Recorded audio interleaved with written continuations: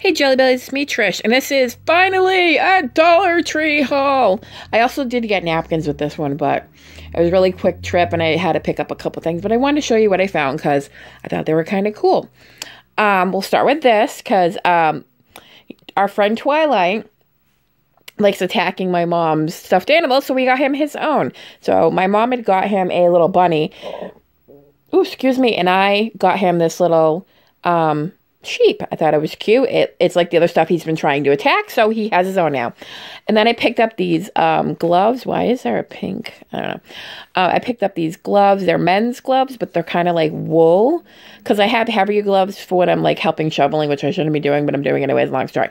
Um, so I got a pair of the men's ones because they're just a little bit bigger and they're more comfy. They're not as tight as the the women's ones. So I got a pair of those. I'll save those for last. Um, I picked up some phone cords for Connor. These are his.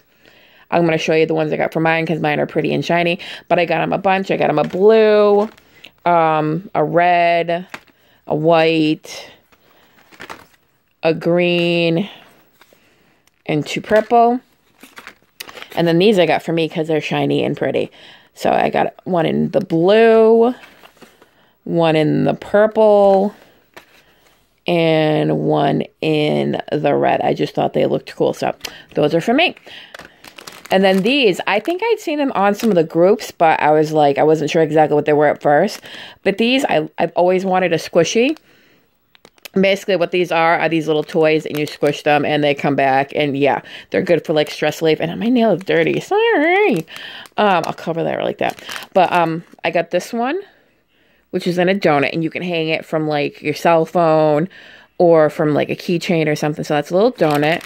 Um, these are the ones I think you can get in the back. You can either get these smiley face ones, the macaron. It's a macaron, not a macaroon, a macaron.